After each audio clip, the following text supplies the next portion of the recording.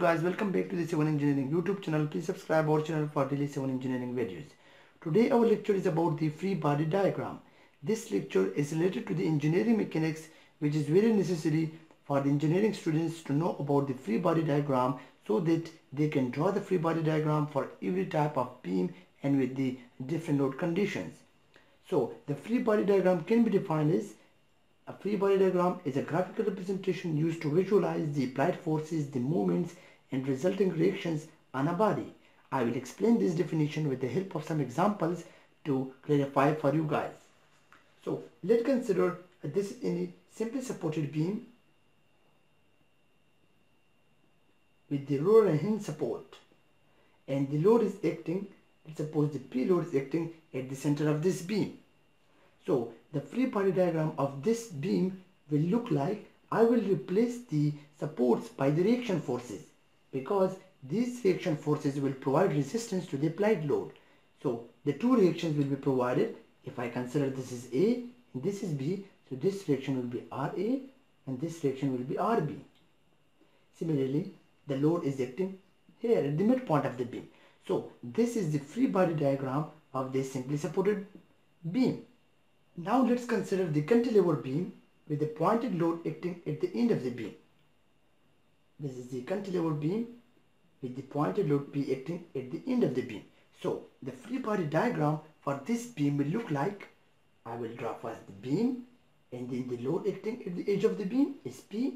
So this P is will be resisted by this support if it is a fixed support so I can I can draw the resistance force is the, let's suppose this is a point A so the reaction will be provided at this point will be the RA to this load. And similarly due to this load the moment will act and this beam will deflect like in this way the cantilever beam. So the moment will be resisted at this point in which free body diagram I can show the moment here at this point. Is moment MA here the move, the negative moment will create at the end of the beam uh, at the fixed support of the beam which we call as the MA. So this is the free body diagram for this type of the beam with this loading. Now I'm going to draw the other type of the beam with different incline loading. Let's suppose similarly this is the hinge, hinge support and there is a roller support simply supported beam but in this case the load acting is inclined load acting on this beam and it's represented by the F. So the free body diagram can be drawn like in this way first I will draw the beam and these are the two support reactions which can resist this load. So due to this load if inclined load there are two components of this load. One is vertical and one is horizontal. So the two load components will be resisted by either this one or either this one. So as we know that there is a roller support it can only resist the vertical. So I can draw as vertical resistance R I call it B and call it A, so this will be RA and similarly the vertical would also be resisted by this support which is the hinge support. So we call is the RA here we can call it RB but this is the vertical so we can call it RAV vertical.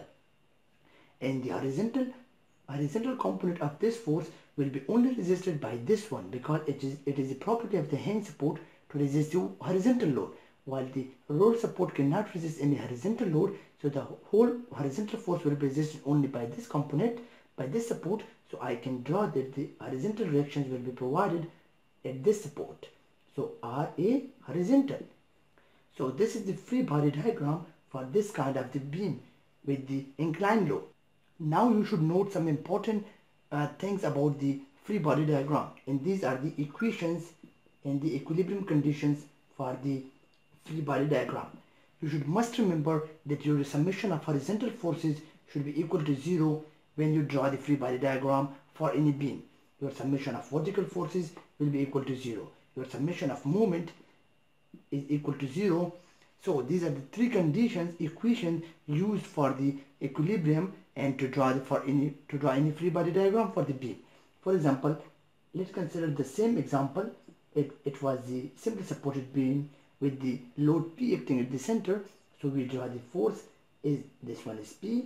So this force is a vertical force so we should know that our summation of vertical forces should be zero so that force will be only resisted by these to support it.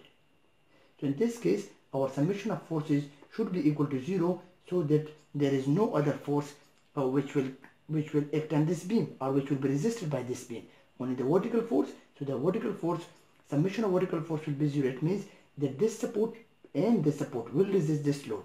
If r called is ra and this i called it rb so ra adding with rb will be equal to the p. The summation of all forces will be equal to zero. So this was the main concept about the free body diagram. Hope you guys understand. And don't forget to subscribe my channel for daily civil engineering videos. Thank you for watching my video